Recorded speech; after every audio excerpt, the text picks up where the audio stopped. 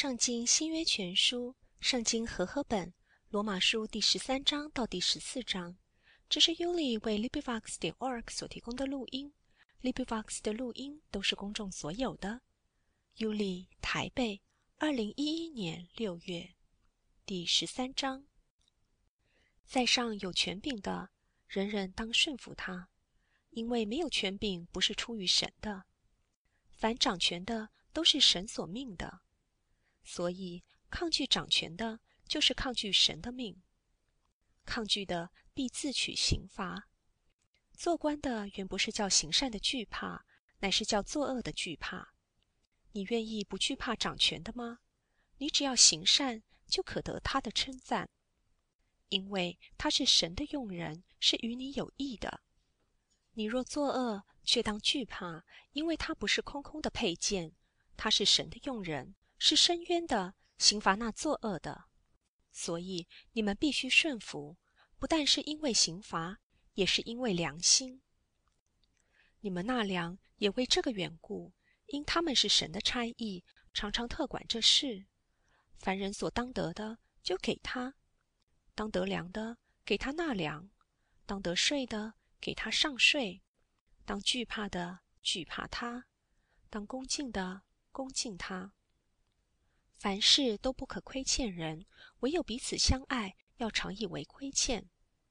因为爱人的就完全了律法，像那不可奸淫、不可杀人、不可偷盗、不可贪婪，或有别的诫命，都包在“爱人如己”这一句话之内了。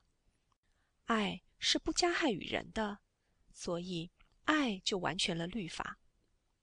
再者。你们晓得，现今就是该趁早睡醒的时候，因为我们得救，现今比出信的时候更近了。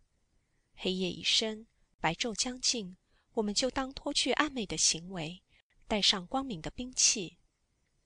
行事为人要端正，好像行在白昼，不可荒宴醉酒，不可好色邪荡，不可争竞嫉妒，总要披戴主耶稣基督，不要为肉体安排。去放纵私欲。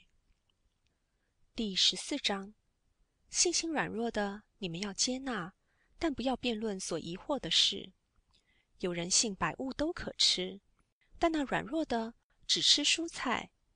吃的人不可轻看不吃的人，不吃的人不可论断吃的人，因为神已经收纳他了。你是谁，竟论断别人的仆人呢？他或站住，或跌倒。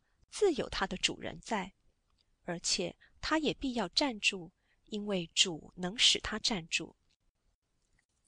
有人看这日比那日强，有人看日日都是一样，只是个人心里要意见坚定。守日的人是为主守的，吃的人是为主吃的，因他感谢神；不吃的人是为主不吃的，也感谢神。我们没有一个人为自己活。也没有一个人为自己死。我们若活着，是为主而活；若死了，是为主而死。所以，我们或活或死，总是主的人。因此，基督死了又活了，为要做死人并活人的主。你这个人，为什么论断弟兄呢？又为什么轻看弟兄呢？因我们都要站在神的台前。经上写着。主说：“我凭着我的永生启示，万膝必向我跪拜，万口必向我承认。这样看来，我们个人必要将自己的事在神面前说明。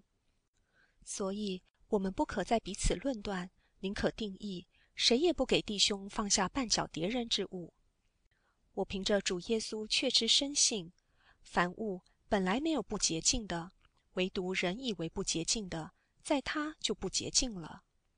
你若因食物叫弟兄忧愁，就不是按着爱人的道理行。基督已经替他死，你不可因你的食物叫他败坏，不可叫你的善被人毁谤。因为神的国不在乎吃喝，只在乎公义、和平，并圣灵中的喜乐。